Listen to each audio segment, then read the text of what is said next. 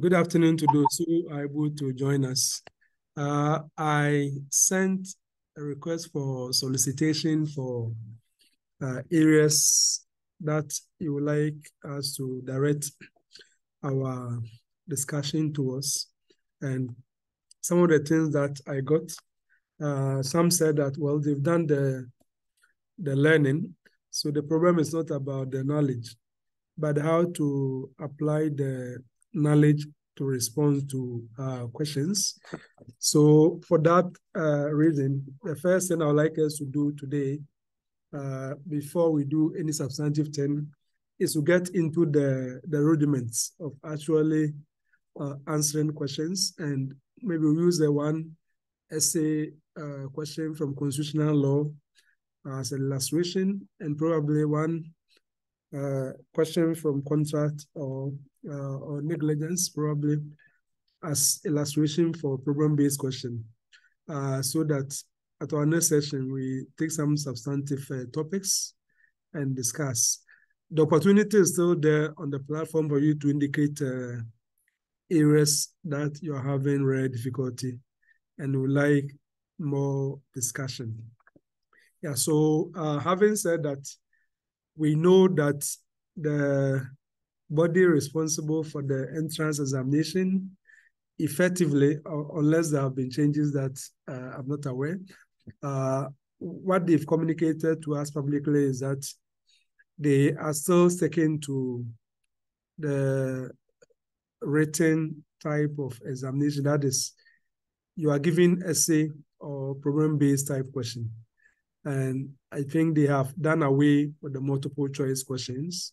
So the emphasis is uh, how to test uh, your writing uh, ability, how you are able to uh, make use of the various things that you are supposed to have learned and be taught during your LLB uh, to respond to very uh, simple, practical oriented questions in the law as the case may be. So we start with the essay type question.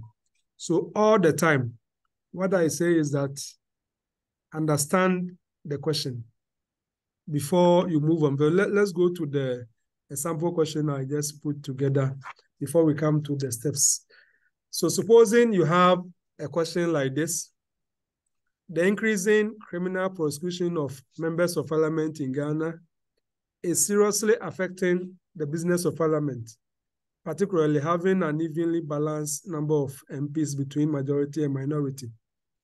A think tank, a think tank group, a think tank group known as Friends of Rule of Law is soliciting views on the constitutional implications on prosecution and possible conviction of certain MPs. These views will assist the group to decide on whether to go to Supreme Court for constitutional interpretation or simply push for reforms of the constitution. Submit your memorandum to the group. Yeah, so of course, this is, I just made this question up just uh, five minutes ago to the start of the class. So assuming you have a, a question uh, like this, typically, this is an essay. It's not a problem-based question. So that's why the fact that uh, it seems to be a little bit uh, long, going into about two or three sentences. It's still an essay question. It's not a problem-based question. It's not a problem-based question because we don't have any particular uh, fact pattern uh, on basis of which we can do what is usually done in problem-based question, as in you know, generating issues and all that. So this is uh, typically essay question. So let's keep that in mind. We come back to this uh, then I'll take your views on how to you know, resolve this. But then let's go back to the mechanics, the practical steps. So uh, in dealing with essay question, as I said, first understand exactly what the question is inviting you to do. You must understand the, the task. The essay question is work, which you have been set. So what exactly are you called upon? What exactly are you invited to do? You must be clear in your mind. Since it's an essay, not until you understand exactly what the question is, there is the high risk. There's a rare likelihood that you are going to deviate. You are going to deviate. So let us uh, keep that uh, in mind. Now, uh, having understood what the question is really asking you to do, I propose that you move to the next stage. Jot down your ideas, right? Jot down, that is, put down your ideas as and when you know, the ideas come. Don't waste time to try and get the ideas properly arranged in your head before you put it down. No. If you do it that way, there is the risk that an idea may escape you. So after understanding what the question is asking you to do, just get onto your answer booklet. You can just write, uh, you can have a portion write rough work, right? Rough work or answer planning. And when you finish, you just draw one line across it because that is not part of the answer. But at least it will give the examiner also a sense that you actually uh, plan, you know, your work. You didn't just do anything.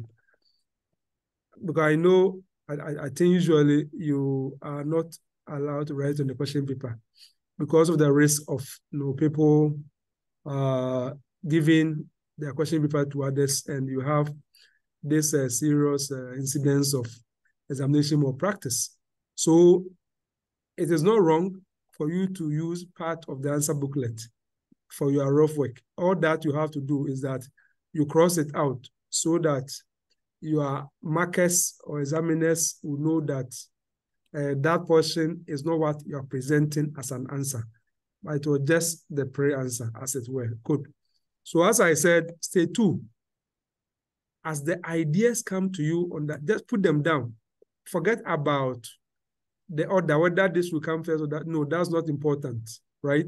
There's no need for order or coherence at this stage. It's not important at all. Because the ideas will just be flowing, so just put them down. Now, when you are done, of course, this thing I'm talking about, it shouldn't take more than, uh, no, it shouldn't take more than five minutes, right? And the, the good thing about essay is that if you understand what the question is calling you to do, and if you have planned your answer in terms of having the points and everything, developing them is not a problem. You will definitely be able to develop all the points before you move to the next question, and you'll be within time. Now, the time will not be enough where you ignore this useful advice, and then we just start writing. And then as you are writing, you get to the middle of the answer, and something you think should have formed part of the introduction will come, and then we still find a way to weave it in, and then you are just on and on and on. And then you're all over the place. So that is the challenge. So let's follow uh, this uh, sequence. So uh, uh, the step three, look at the ideas or points you jotted down earlier and rearrange them in logically coherent order. I mean, I've you know I've I've taught and I've been examiner uh, before. I've also talked to examiners, and when it comes to logical presentation of ideas, it is non-negotiable. No matter how great your ideas are, if they are presented in a very haphazard way, you would definitely you lose uh, important part of the marks. Because uh, the haphazard nature of the ideas will affect understanding of what you are trying to do. So, so please, the third stage, you go to the, the ideas we just jotted all over and then arrange them logically. In other words, every essay must have a structure uh, you have the ideas, you, you arrange them, which one needs to be discussed first, what next, and so on and so forth. Which idea should go into the introduction? Because introduction of an essay uh, question, or among other things, depending upon what sometimes some people will include definition of a key ideas in the in the in the essay question, as it were, if that is uh, how the question is, is what about the idea. And then uh, some will also go ahead and give a, a roadmap of the answer. Just uh, in a very succinct, concise way. Just let the examiner know that uh, these are the you know, what I'm going to do. So in the introduction, the reader gets understanding of your understanding of the question. The reader gets understanding of uh, what exactly, in a very brief way, you consider necessary to be done as a complete answer to the question. So that is like the roadmap. So that is what the introduction is supposed to basically do. So you do the, the arrangement of the, the points, as I said, in a logical uh, order so as to ensure coherence.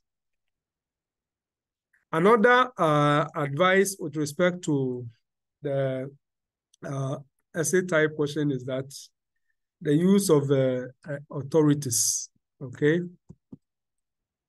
Don't forget that what we're doing is law exams. It doesn't matter how the question appears for the essay question in particular, for the problem or the, those type of question, it will be obvious uh, most of the times you. But for the essay questions, there could be some uh, detractors or red herring. You read like the question, and sometimes the question sounds so general, right? It sounds too general that you may be tempted to think that, uh, oh, as for this one, it's not law. They just want you to just say anything. No. Remember that this is this is not entrance exams to LLB at University of Ghana or uh, KNUST or UCC or uh, Central University, Presbyterian University, or GIMPA or UPSA, as it were. No, it's not entrance examination to those law faculties entrance examination to those law faculties, we know that you haven't learned law. You are now coming to learn law. So we can understand uh, that even if a question is set and the question uh, looks legal, we don't expect legal response because we haven't learned law yet, okay? But this is post-LLB, right? You, you'll be given the LLB, the Bachelor of Laws degree. You'll be given a degree in law already and you are going to the next phase of your legal education. And for that matter, when a question is given you, regardless of how the question appears, even if, if it, it looks like a general social uh, you know, discussion or religious discussion or cultural, economic, or even political, that is not the focus. You should bring on your legal thinking uh, uh, cap put on your legal uh, uh, lenses to look at the, the problem because uh, your examiner knows the audience it is dealing with in setting the question. The, the, the audience for the examiner in this type of examination are people who have learned law and they have been certified as worthy of being conferred with a Bachelor of Laws degree. So keep that in mind. Good. And for that matter, you need to use authorities in your answer, right? You need to use authorities in your answer because essay questions may either require you to essentially to either uh, trace or explore historical development of a particular legal principle or concept or doctrine. Or it may require you to give out like a exposition of the position of the law, right? regarding a particular matter. What is the current position of the law? Just exposition. Just explain the position. And if you explain the position, don't forget that the law is not in vacuum. Article 11 of the 1992 Constitution is not there for nothing. Sources of law in Ghana. What that means is that anything you are talking, anything legal in Ghana, uh, for what you are saying to be legal, there must be something from one of the sources. Either the Constitution uh, supports what you are saying, or provision in Act of Parliament uh, what you are saying, or provision in certain delegated legislation somewhere, be it constitutional instrument, legislative instrument, bylaws, or there's a, a judicial decision, decisional law, case law from the superior courts, uh, which supports what you are saying. If you cannot uh, get support from any of these uh, materials as alluded to in Article 11, then uh, what you are saying or discussing, seriously speaking, is not law. You're doing something else. So authorities must be used in your essay questions. And authorities too, we must be mindful of hierarchy of legal norms. If what you are discussing in an essay, there is a relevant constitutional provision, you shouldn't ignore it because you should know that the constitution is the supreme law of the country. And if it says something that is more important, it should be you know, acknowledged first before any other uh, lesser uh, you know, source of legal norms can be appealed to or can be uh, used. So let's keep that uh, in mind. Now, and then in terms of constitutional provision and statutory material, uh, students are generally all right when it comes to uh, using them in essay questions. The challenge uh, some students face uh, has to do with the use of uh, case law, that is the uh, decisions of the court, in substantiating their claims or assertions. Now, where you are writing an essay and you need to be using authorities, it is not a requirement for you to be telling us in detail about each of those uh, cases that you are using. No, you don't have to be that detailed. There are even at times that uh, just knowing that this position of the law was actually uh, stated or enunciated in this case will suffice. And it is not necessary for us to tell us the facts of that case, right? I'm talking about essay question, don't get me wrong. When we come to problem-based question, we tweak this advice a little bit. But for essay type question, you don't need to be telling us in this, this happened, this happened, this happened, this happened, and the course and so on and so forth. No. It is only where maybe you, you you've made a particular point and you think that because of a certain point you are trying to put across for a certain higher level of emphasis, you want to use illustration from a case law, then that one is different. Otherwise, most of the times, when you have to use case law, in your essay questions, you are not required to tell us, uh, you know, in details about, about, about those cases. No. So let us keep that uh, in mind.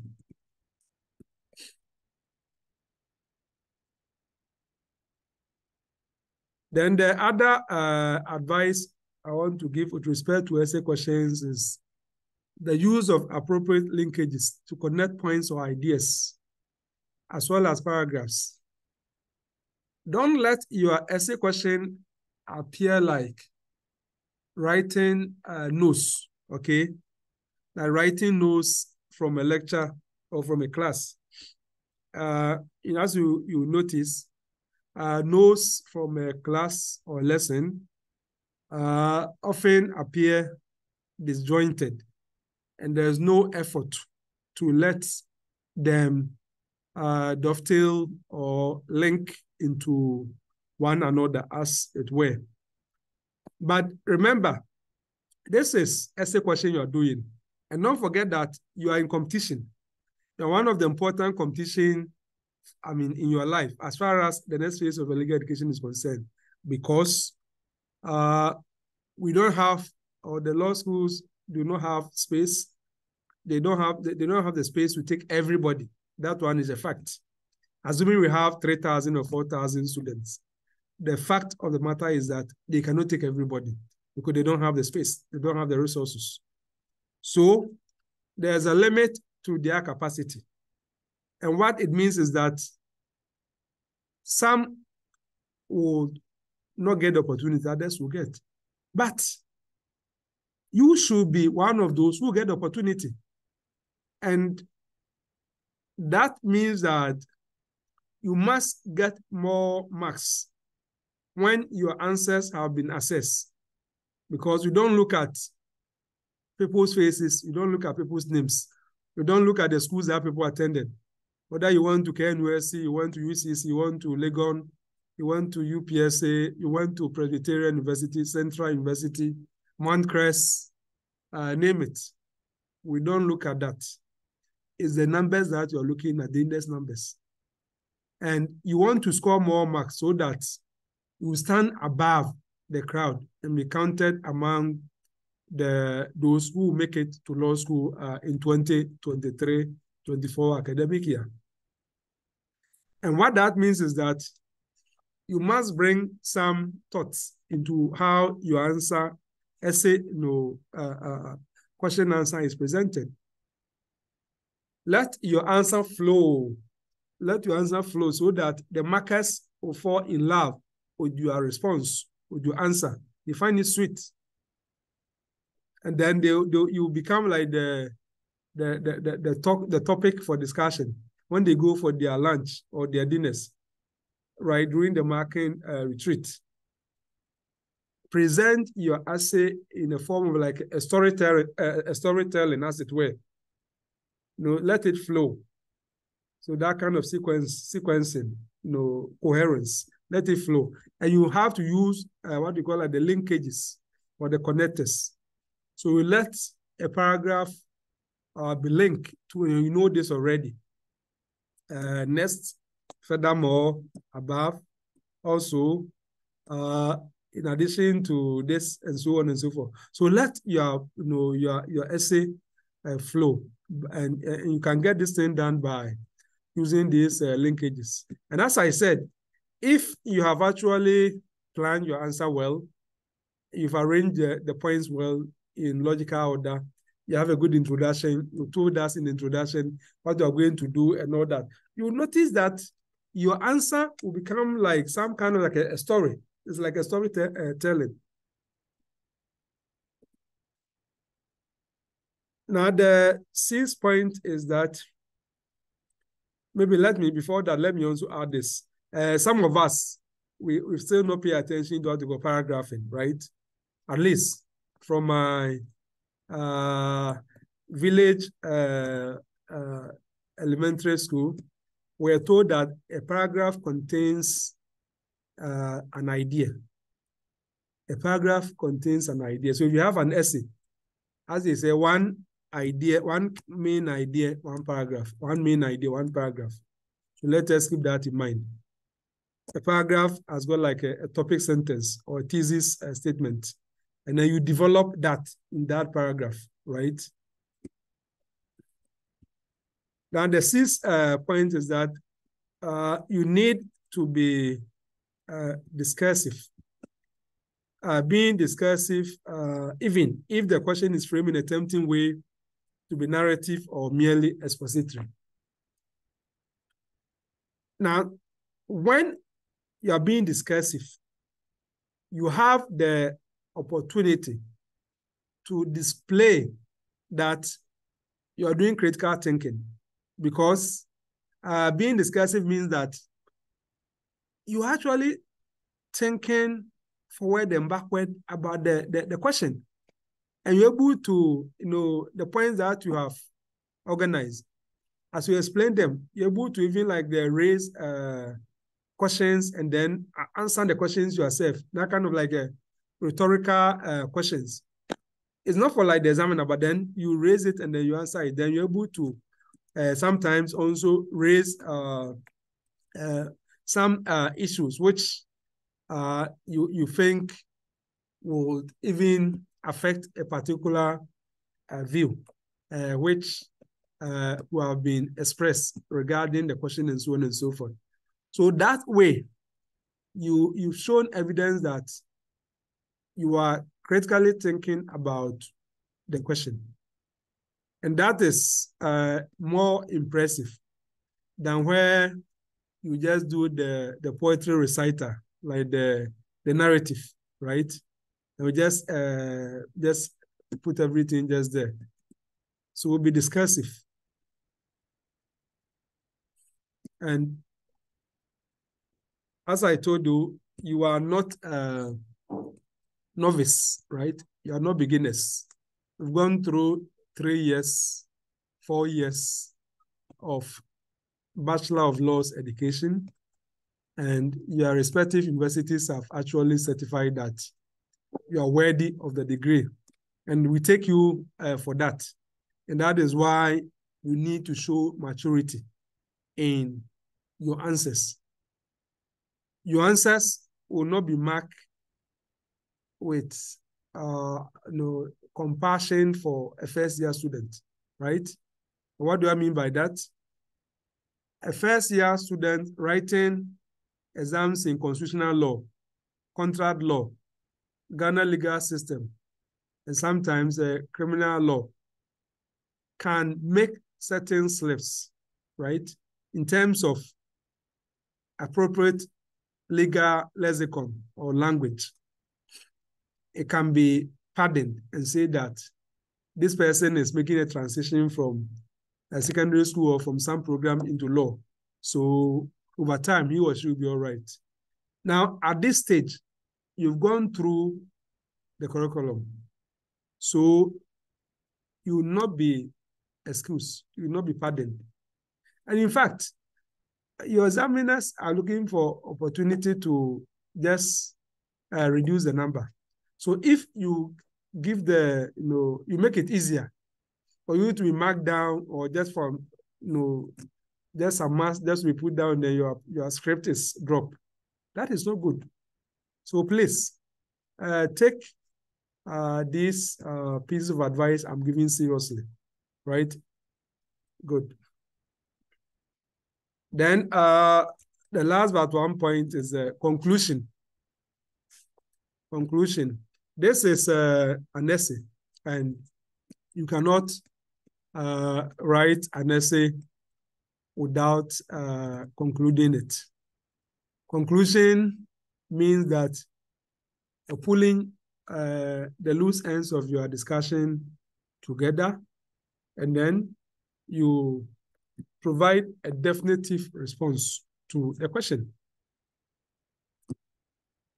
So some will try and probably summarize the, the key arguments in the conclusion, and then they provide like a, a definitive response to exactly uh, what the question uh, asks about and so on. At least there should be evidence that you made effort to conclude your answer. That is important. Finally, uh, time management. You don't have, excuse me, you don't have the whole of the day to actually uh, write your answer uh, as it were you have a very limited uh, uh, time. So, uh, unless I am, I don't know, uh, can anybody remind me, is it one and a half hours or two hours?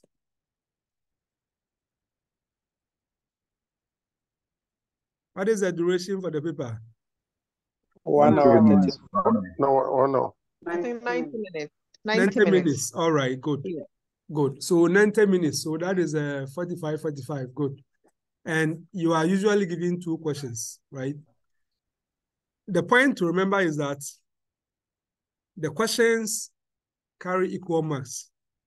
And what that means is that if you decide to uh, use more time for one question at the expense of the other question, now let's suppose each of them is being marked over 50, right? So altogether 100. If it's 50-50, no matter what you write for the question that you decided to spend uh, 60 minutes, and then you leave only 30 minutes for uh, the other question. The question you spend 60 minutes, I can bet my last uh, Ghana peso you will never get 50 over 50. I'm sure about that. And I know what I'm talking about. And assuming you even got 45 over 50, right? In that question. And you are not able to look at the you know, the difficulties. You know, where there are times that we we are told that the examiners will you know, know the, the board will decide uh, the pass mark or will decide whether you have to pass both questions. You know, I remember there have been times that you say that you must pass both questions before you can actually what? You can pass. And, and so on and so forth. So don't allow your passing to depend upon uh, post-release of results discussion which will go on at the General Legal Council or the uh, examiners board before you know your fate. No, do the writing. So the writing is that you must pass both questions, right? So divide your time equally between them. Give each question 45 minutes.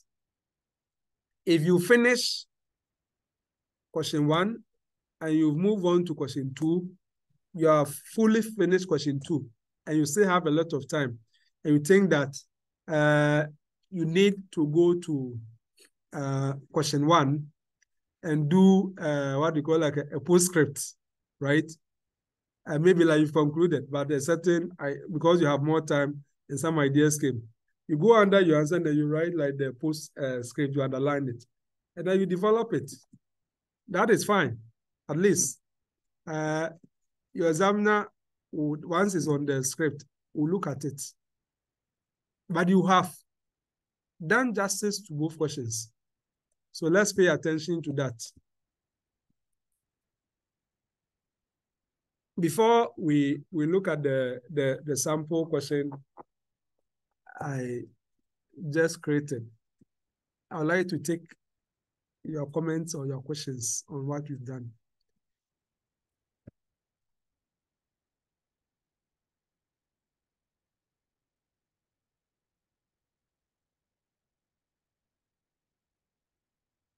Yeah, if you want to speak, you just just make sure the only one person is speaking at the time.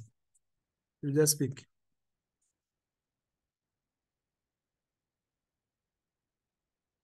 Okay, so there's no question. Now let's look at the this question. I created this less than uh, five minutes before we started the class. So don't ask me for answer. And it's not from anywhere. It just uh, people like uh, uh, made up, right? The increasing criminal prosecution of members of parliament in Ghana is seriously affecting the business of parliament, particularly having an evenly balanced number of MPs between majority and minority sides. A think tank group known as Friends of Rule of Law is soliciting, soliciting views on the constitutional implications on, on prosecution and possible conviction of sitting MPs. These views will assist the group to decide on whether to go to Supreme Court for constitutional interpretation or simply push for reforms of the Constitution. Submit your memorandum to the group. Yeah, so let's say you have this as a essay question. Let's follow the steps that uh, we've just discussed and let's brainstorm together to get some uh, ideas. Yes. So let's say we, we, the first stage, we say we need to understand the question, isn't it? We need to understand the question. Uh, I presume that you've understood the question. What the question is exactly requiring of us. I presume we've all understood that. Good. Now let's move on to the next one that we have to just randomly jot down ideas. I mean, as they come to us. So let us do that now. Yes. Yes, so what are the ideas? Quickly.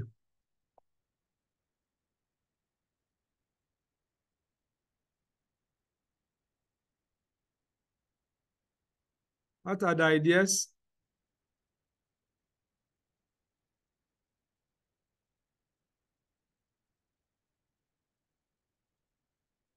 Are you here?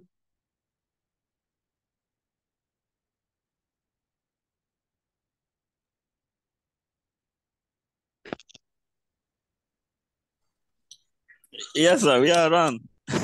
Yeah, so let's hear you. I mean, I said that at this stage, just forget about the order of the ideas. Just anything which comes to your mind. So let's do that.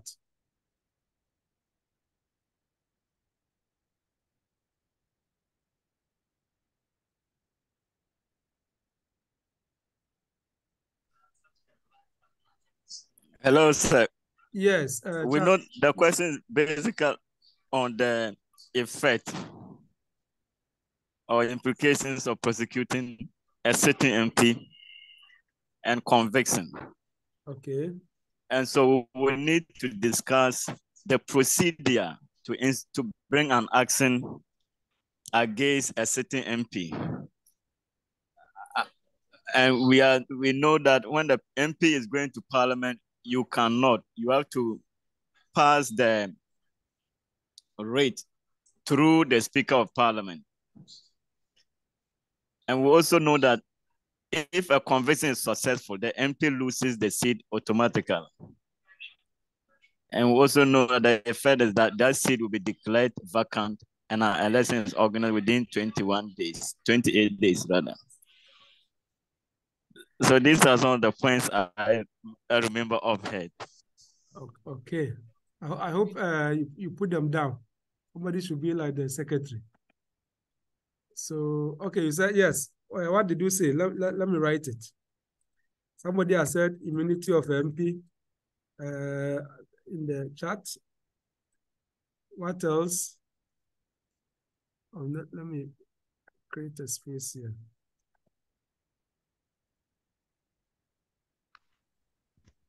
Yeah, so yeah, so that's the that's the planning planning. answer. Good. Uh, so I just jotting the ideas. Uh, yes, let's try and capture what Charles said, and then uh, uh, Vivian will come in. Charles, let's take your ideas. Quick.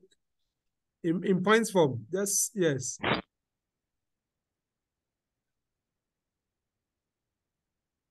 Uh, I, I said we need to discuss Article 17 1, equality before the law.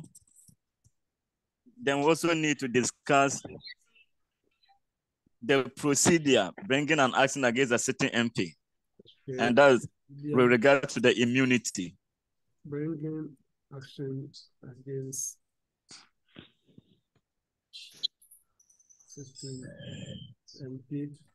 What is the immunity? Okay.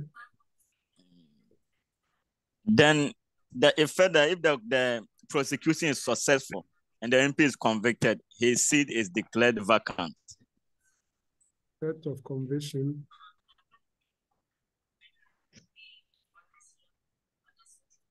And an election is organized within 28 days to replace him.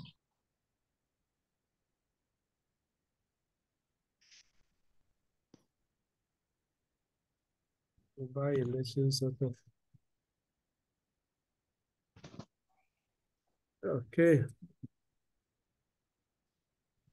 Okay, so your points are finished. So let's go to Vivian. Unless yes, Vivian. Yes, sir.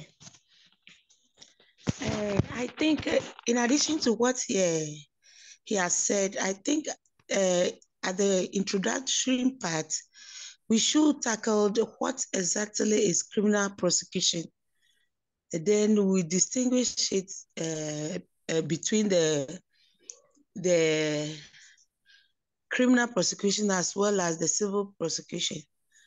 So that that will be our introductory part before we move on. Then when we move on, as he said, uh, equality before the law, we work on that one too and continue the process as he has said. Then if we are recommending a reform, I think um, what type of reform we'll be looking at. If we are re recommending a reform, the reform that we are looking at, then we talk about it.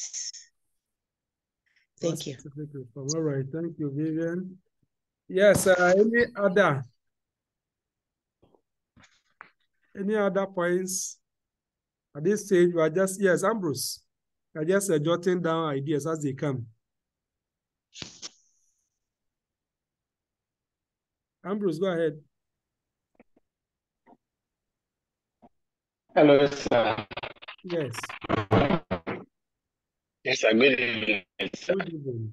Sir, uh, in addition to what my colleagues, in addition to what my colleagues have said, I also think that in the introduction stage, uh, we talked briefly and uh, the effect of the criminal prosecution and who is in charge of prosecution when it comes to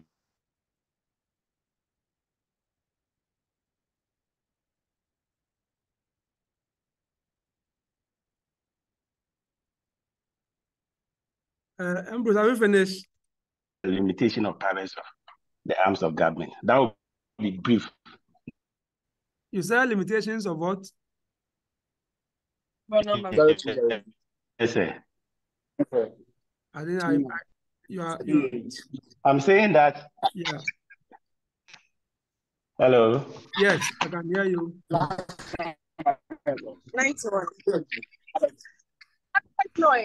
think your network is not great. Uh, sorry. Yeah, yeah. So come again. I, I heard you are you are sorry. So yes, you said that the last bit I didn't get that. Uh, the last part, I was I was saying that you talked briefly about constitutionalism. That is the limitation of powers of arms of government and the government agencies.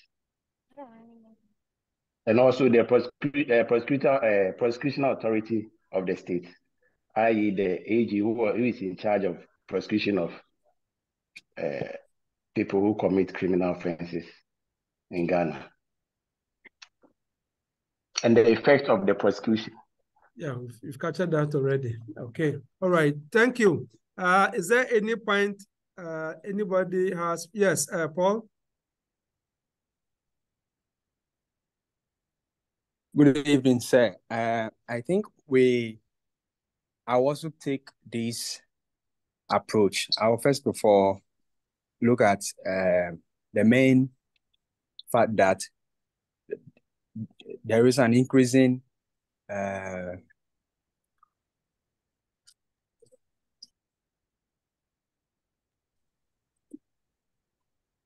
Yes. There is an increasing what? Hello? Prosecution of um, certain represented. Okay. hello. Yeah, we can hear you. Yes, sir. So I said I'll I'll take a look at the fact that there is an increasing rate of uh, in in in insofar as uh, Prosecution sitting MPs. Right. MPs are are concerned. Then I also look at the fact that um, there is um, there are constitutional immunities for for all those MPs, and I'll go ahead and discuss what what they are, and I'll analyze the the fact that there, there, there is a reason for why there is uh, there is immunity for these sitting MPs. Uh, Stella, I can't uh, please, please put your, your mic off.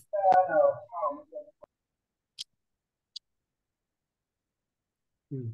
Okay, anyway, you've taken uh, enough uh, suggestions. So now, just my initial comments.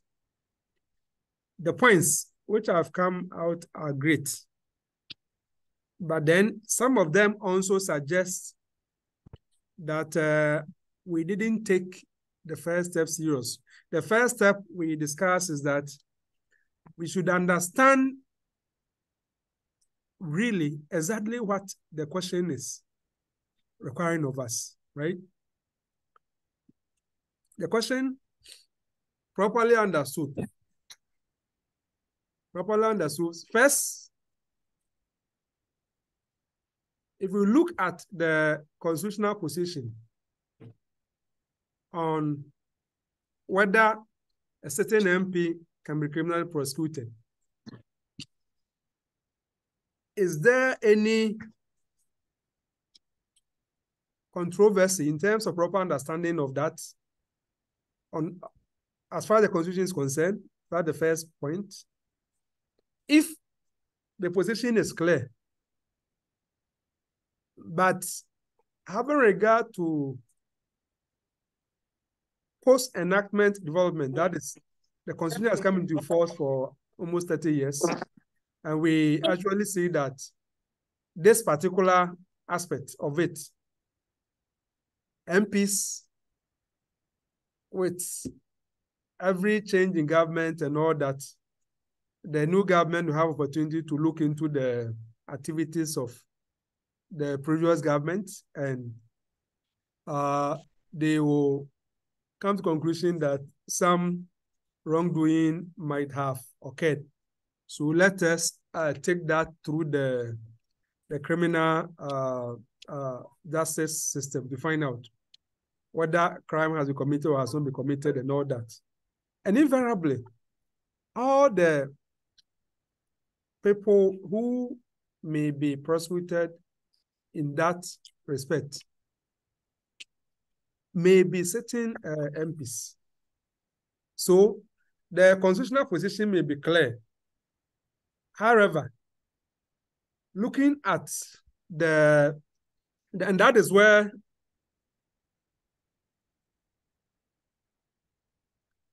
and that is where the the the second part of the question. Because the question is two parts. The first part is there a need for constitutional interpretation regarding uh, prosecution of sitting MPs and also uh, effects of conviction on their position as certain uh, MPs uh, as it were. So that is a, a, one aspect.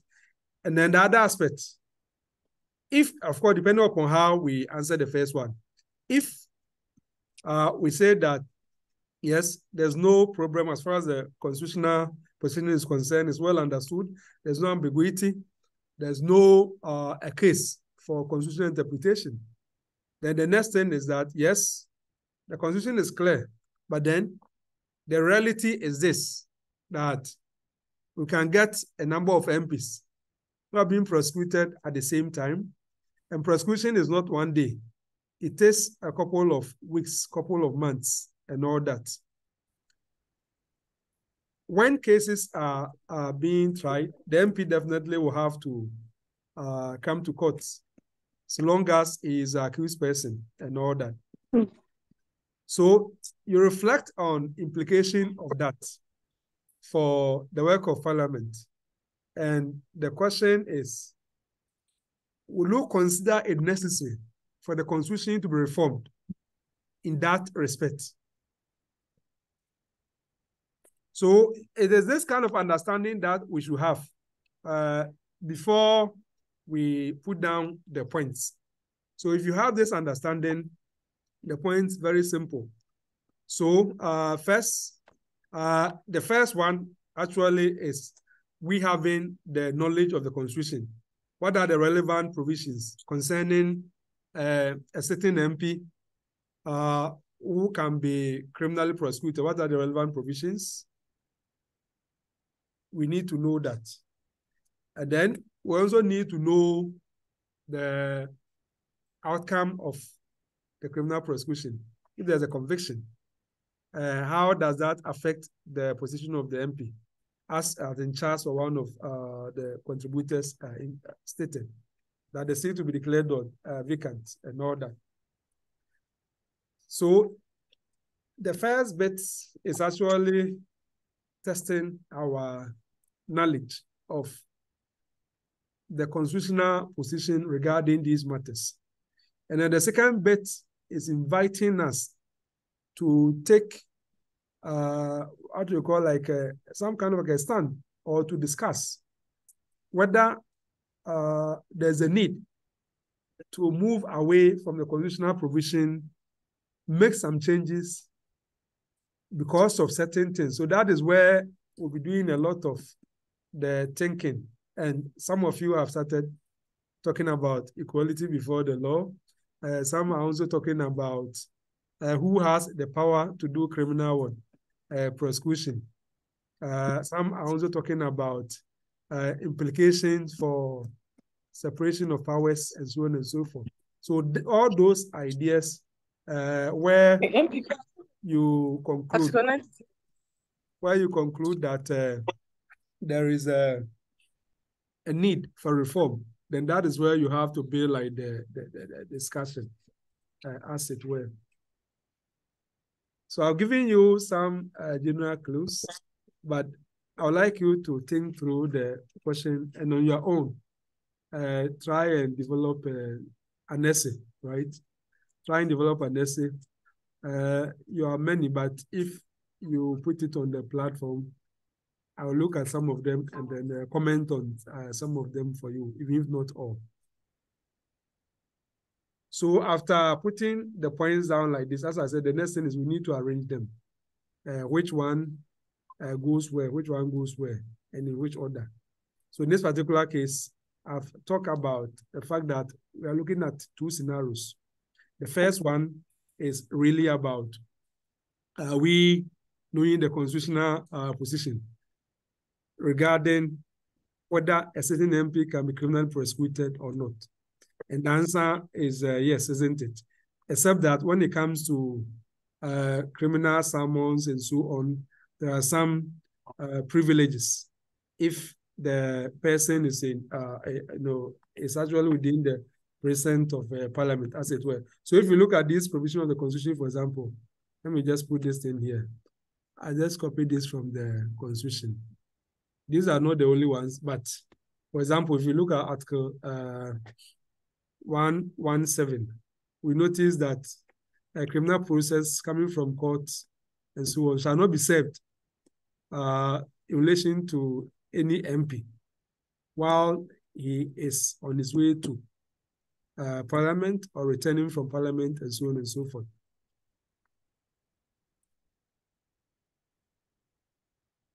I mean, you uh, look at the the, the other uh, uh, provisions as uh, it were. So you can try an answer, right? You can try an answer on your own, and then we'll look at it if you put it on any of the platforms. Okay, so we'll leave the essay questions and then go to the last uh, aspect. And as I said, I'm doing this because some of you said they still need assistance. That's why we're doing this. Any question on the essay before we move on?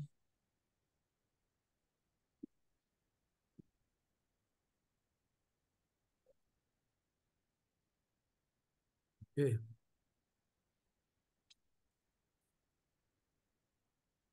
Okay, let me uh, give you a certain uh, question from negligence which will be used as the illustration for our discussion of the problem uh, type as it were.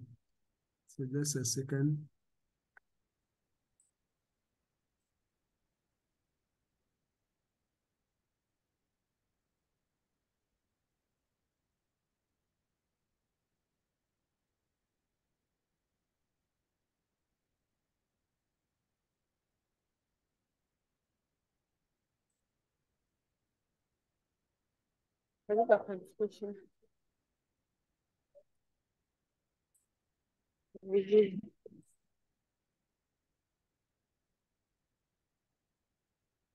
I think I'm giving you this uh, question. Just a second. Hi.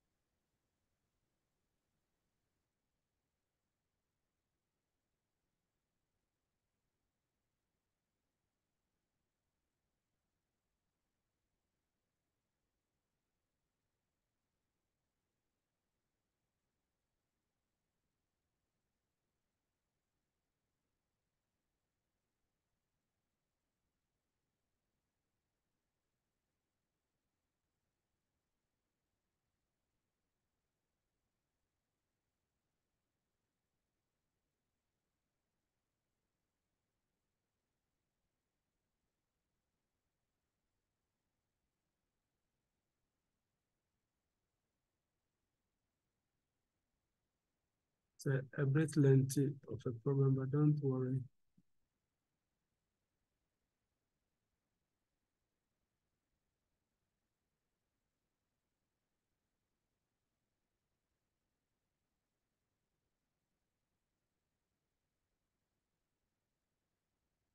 Oh, no.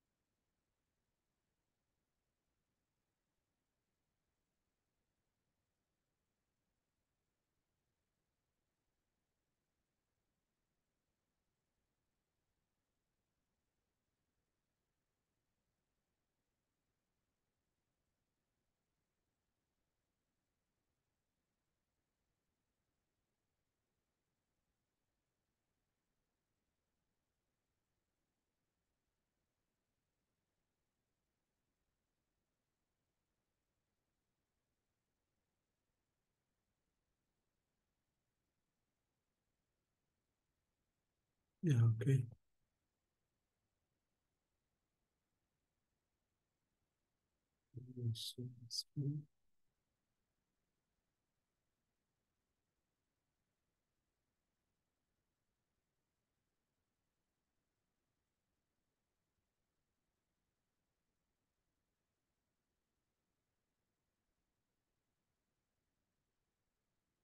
Okay, so uh, having uh, revised and also shared important uh, ideas on how best to answer essay type question, we now turn our attention to a problem-based question.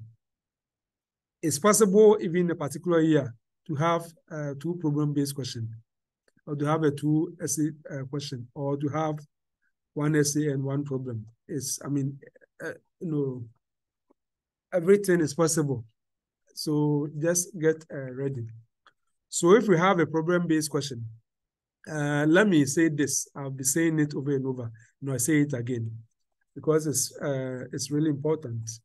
Uh, please, if you if you are given a problem-based question, at this stage, nobody will smile at you if you ignore the well-known approach in answering problem-based question.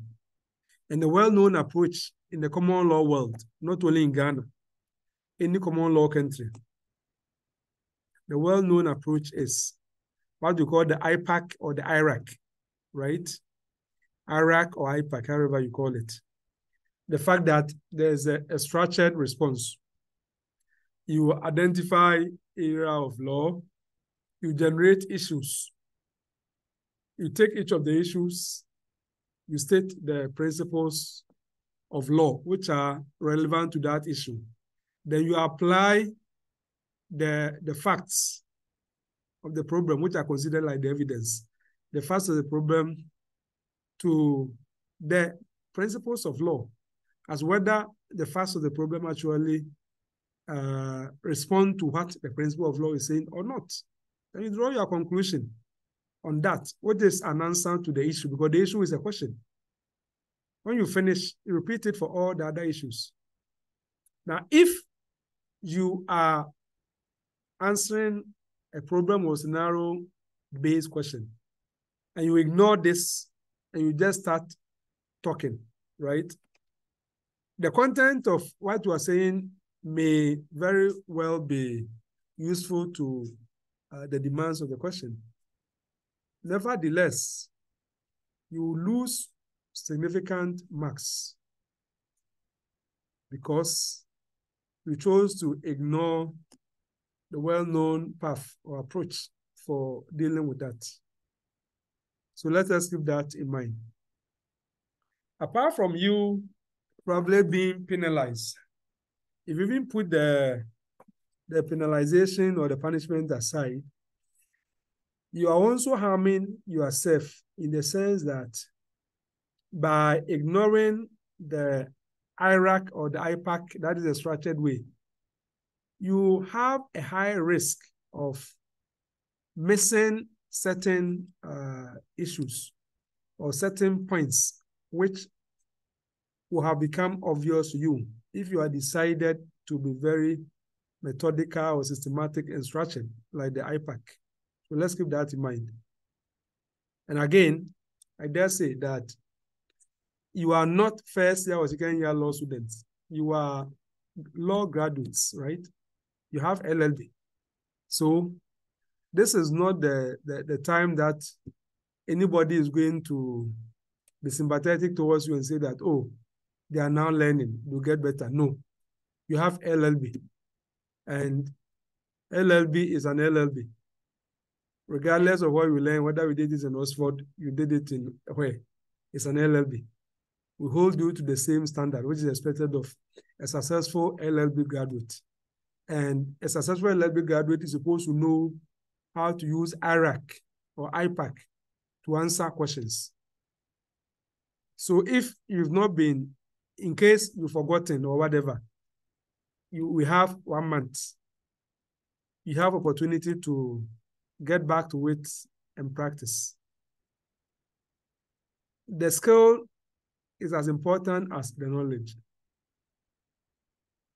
Good. So uh, typically, uh, you have the, uh, what do you call it, the introduction. The introduction part of the an answer to problem-based question will simply be uh, you mapping out the areas, right, concern, and then you generate issues. So introduction in a problem-based question is very straightforward. The function of it is for you to tell us what the area of the law is or what the areas of the law are, and then what legal questions, that is what issues, legal issues arise from the problem. So these are supposed to be outlined, not explained or discussed in the introduction. And having done that, you now take the issues one after the other. So you take one issue, you can write it uh, boldly so that will stand out or you underline it, okay? And then under it, you start outlining or stating the principles of law in a propositional form. Mind you, in dealing with a problem-based question, you are more or less uh, acting as a lawyer or a judge, as it were. You have a rare scenario. I mean, of course, albeit uh, hypothetical. You have a, a, factual pattern before you. There are some uh, disputes evident on the face of it. And you are supposed to use your knowledge of the law to resolve it. So here, we are not interested in what the law was. When we are stating the principles of law, don't tell us the law was this, it became this, it became that. Tell us what the position of the law is now. Let me just give you an example. So let's suppose that uh, the question is about, let's say, consideration, and the problem is about consideration or something to do with consideration. We are not interested in what the common law used to be uh, in cases like Routledge versus Grant, who says that where an offeror or promisor has promised to leave an offer open, unless the promisee has actually provided consideration, the offeror can withdraw it at any time. That used to be the common law. But now, Section 8, subsection 1 of the contract Act says this. No, we're not interested in what the law was. We're interested in what the law is now. On the other hand, if you were answering an essay question, okay? And the question has asked you to uh, discuss the changes or modifications which have been made to the common law doctrine of consideration by the Ghanaian uh, statute. Then you can be telling us about the history and then the, the there and now, or then and now, or what the position was and where we are now. And we can do that. But for problem based, we're not interested in what the law was. We're interested in what the law is now. So let's keep that in mind. And I said that you have to state the principles in a, a propositional form. If I say propositional form, that is state the principle direct. Okay. So if it's like uh, negligence, for example, you want to probably talk about uh, uh, the plaintiff must show that the defendant owed him a duty of care. That is direct. A duty of care is held to exist where the neighbor principle as stated in Donoghue and Stevenson apply or in novel situation as elaborated in the Caparo against Wadikman case so you see, you are setting it direct. Yeah, so that is what I mean by saying that you must outline the principles and then the corresponding authorities. So let's keep that in mind. Again, uh, setting the principles here said are the corresponding authorities. It is not at this stage that you are required to tell us exactly what happened in the cases that you've cited. No, it's not needed at the, the, the statement of the relevant principles or outline of the principles stage. No, it's not needed at this stage. At this stage, all that we need is that you are saying you are saying a certain principle. We are interested in knowing where did you get that from? Did it draw from the air? Or that principle was propounded in a particular case decided by the courts. That's what you're interested in. Okay. Now, after outlining the relevant principle on that particular issue together with the relevant authorities in which the cases emanated from, you move on to the next stage. That is application and analysis, right? You are going to apply the law to the facts. You are going to apply, and that is what makes the problem-based uh, question. For essay, you don't have any facts you are just speaking in abstract, just talking theoretical, the law. or how it has been, or how it should become, how it should be changed and all that, like the reform you're talking about. But here, we are dealing with a concrete scenario. So we are going to apply the law to the facts. We are going to find out whether uh, any aspect of the facts can help us to conclude that this principle we have stated is actually satisfied, is actually applicable to this case, to this factual pattern. And as you're doing it, and that's what we call like analysis, that is to say that you need to open up your understanding of the facts and then your understanding of the principle. And then you connect them or you link them for you to arrive at a conclusion as whether that principle is met according to the factual circumstances of the case before you or not. So let us keep that uh, in mind.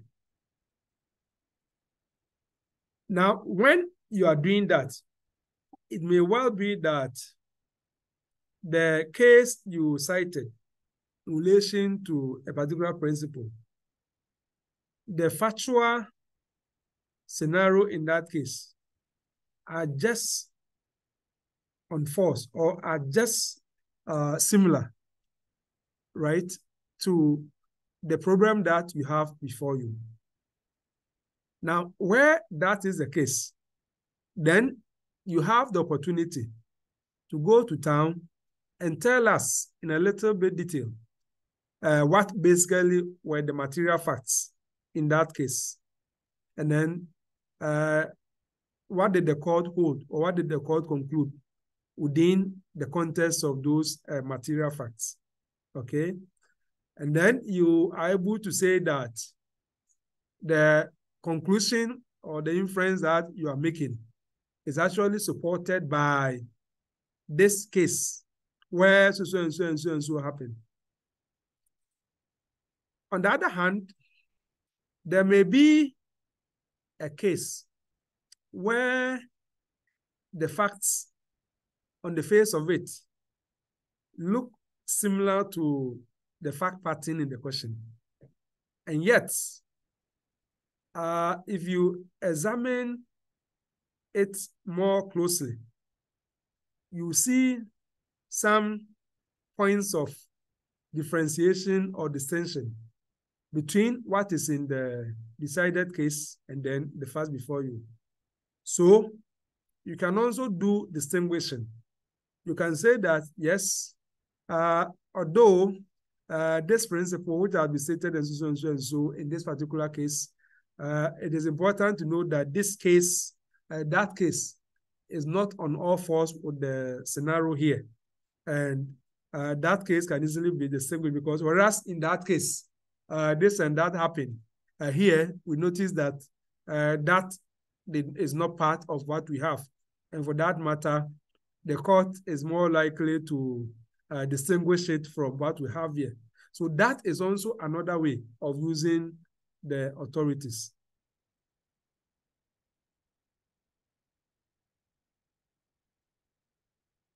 Yeah, so uh, you do this, uh, you know, of course, when you've done this, then the answer to the issue you are dealing with will become obvious because the issue is a question. The issue is a question, and that question must be answered.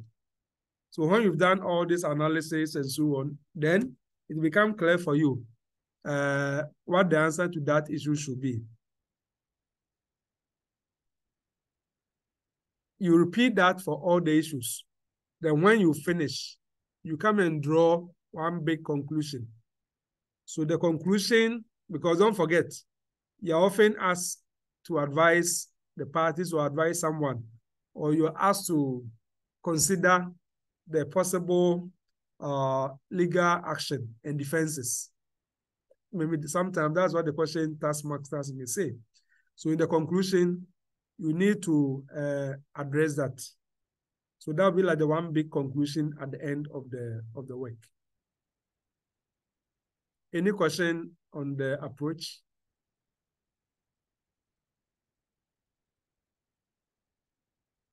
Any comment or any addition? Let me put it that way. Hello, sir. Yes, Charles. Please, my issue is on the issues. If you have, say, four issues, and some, I don't know, the but are you to state all the issues immediately after the areas of law before you take them one after the other, which also means that it must waste your time. Okay. Or if Go ahead. Go or you you after the area of law that has been identified, you state issue one and discuss that one finish and go to the like that. I don't know whether it is uh, acceptable. Yeah, okay. Uh, thank you, Charles. Um, if you did it what the way you are suggesting, you are not wrong. Okay, you are not wrong.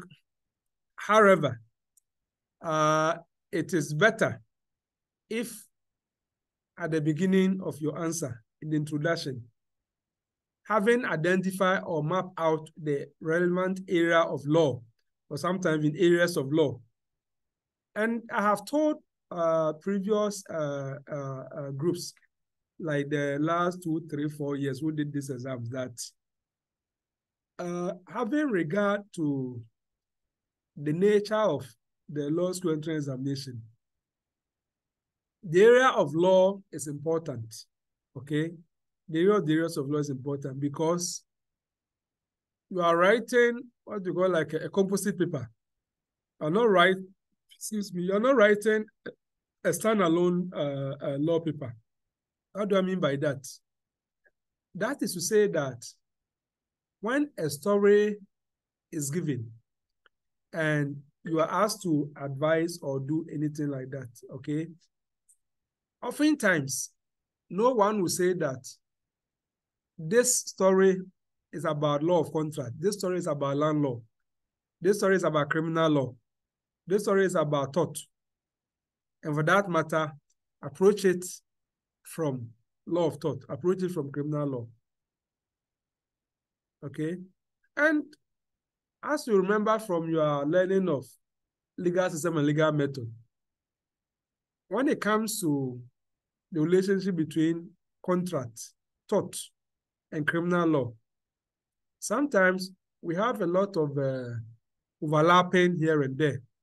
And for that matter, if you have a, a fact scenario, it is important for you to tell us uh, the areas of law that you have identified, okay?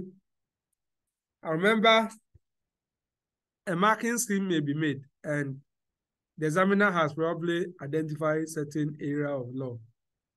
You get a student who will do what the examiner has said. In addition to that, would also recognize another area of law, another issue, who the examiner did not even include in his or her marking scheme.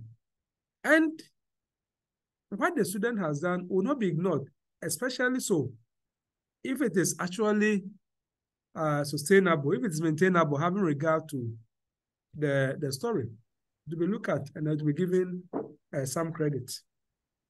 But it, as I said, it is better to get your area of law, areas of law in introduction and get all the issues, you know, line up there. And then you take the issue one after the other. Or sometimes uh, some issues may be related. And for that, for example, when you are dealing with, let's say, especially when it comes to the area of like the contract law and also tort law, okay? If you are dealing with uh, something in the area of uh, negligence, for example, you may raise issue about uh, whether someone owed uh, someone a duty of care, whether there was existence of duty of care. And you may also raise the issue as whether what the person did, he breached that duty of care. And probably may also raise issue as to whether the death or the wound which the person has sustained uh, was caused by the breach of the duty of care. Now, some of these uh, issues may be related in terms of even the statement of the law. So uh, sometimes two issues may be treated together. You, you treat them together in the sense that you state them together, uh, issue one, this, issue two, that. Uh, these two issues, due to their uh, intrinsic uh, uh, nature of being related to one another, I propose to address them together. Now, the law is that you state the law on that. That when you finish and you are doing application analysis, then you can take uh, each of them and then having and then you answer it, you know, that that way. I don't know, uh, Charles, if uh, this helps you. Yes, sir. It it, it does. Okay. Yeah, Justice. Yes. Um. uh, good afternoon, my lord. So, I I just want to seek a bit of clarification. Um. So I just want to use an example. So, for instance, the set of facts that have been presented is one that um is defamation. So you go on with your area of law, you state your issue. Now, when you come to the rules, there are certain principles that has to be, you know, you have to go through in order to be able to ascertain whether there is defamation. You know, was it published? Did it refer to the defendant, uh, uh, to the claimant, and all those things? So, is it at that stage that you still have to take each of the factors that you have identified under the rules? So, for instance, was it published? Then you go ahead to discuss what it means by publication, or you just list them under the rules. And when you go to the analysis, then you can then pick up the analysis, what it means by publication, what it means by referring to the um, claimant, and then what it means by the word itself being defamatory. Okay. So I just want to seek a bit of clarification, then you apply. I just want to seek a clarification. All right, all Thank right, you. Justice. Uh, thank you. Yeah. Yeah, so uh, Justice, your question brings up the issue as to whether we have a one size uh, fit all when it comes to problem based question.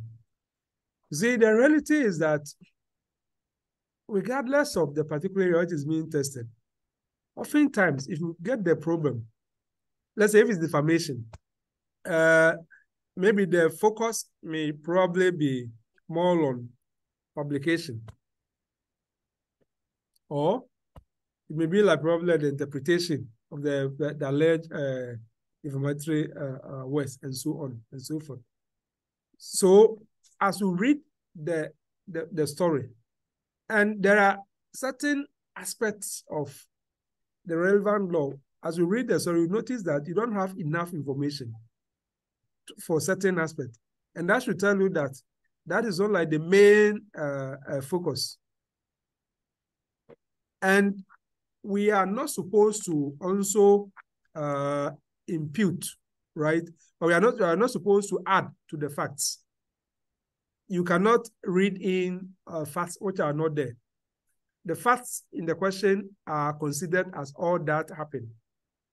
So if uh, you look at the maybe there's a particular element of the particular area of law that you've identified, and you are struggling there's no, you don't have any uh, sufficient information which will help you to properly, you know, analyze and apply that. And that should tell you that that particular element is not like, if you like, the main uh, uh, focus, as it were. And avoid uh, creating your own facts. Maybe where the information is not enough, a good student will say that uh, since uh, the fact is silent on this particular aspect and all that, it is not uh, possible to determine uh, whether this and this and that. So in that case, you have shown some awareness that yes, this element on the face of it appear to also be relevant. However, if you go into the facts, we don't have enough information for you to properly uh, say that whether it's applicable or it's not applicable and so on and so forth. So let's take, I think the some have used the test to bring issues. Uh, okay, uh, could you, could the problem question potentially include two distinct subjects simultaneously, such as tort and criminal law? Okay, uh, and then uh, Valerie, uh, another one. Is it possible for problem question to be grounded in two separate law areas like tort law and criminal law concurrently? Okay, good. Yeah, so as I said, the type of exams you are doing is, is quite uh, tricky uh, when it comes to problem-based question. As for the essay, uh, th there's no hassle because as you read the question, it will become uh, obvious to you that this is what the question is asking you to do. But the problem one is where we have the challenge because your examination rule says that you're being examined in six areas, land law, criminal law, constitutional law, contract, uh, tort, Ghana legal system and legal method. So if the question uh, comes, how do you know whether this uh, question is purely uh, tort or uh, the question is also about uh, tort and at the same time about criminal law? Well, my advice is that when you read the story, okay, when you read the story, if you read the story well, it will become obvious to you what the particular subject area is. And even let's assume that the one which became obvious to you is, let's say, like the tort law, okay? And within that, you also get a certain uh, prompting that, uh, I mean, causing unlawful harm is also something uh, in criminal law uh, the person can be uh, charged with and so on. And then you know the law in terms of the constitutive ingredients of the offense of causing unlawful harm and all that. Now, if you look at the facts and you have enough information for you to discuss that charge, there's nothing wrong having uh, discussed the tort aspect for you to also uh, you know, address that uh, criminal law aspect that in your considered view, enough information exists in the question for you to uh, answer that. As I said, the bottom line is that do you have enough information in the question? Not just because uh, you just saw something you know, tiny, then you just jump conclusion that, oh, okay, then this is also a criminal law, and so on and so forth, or this is uh, contract, or this is tort. Or... So let's keep that uh, in mind. But as I said, if I've read the story well and you are able to see two subject areas as being the re relevant area, please don't uh, be afraid. Be courageous.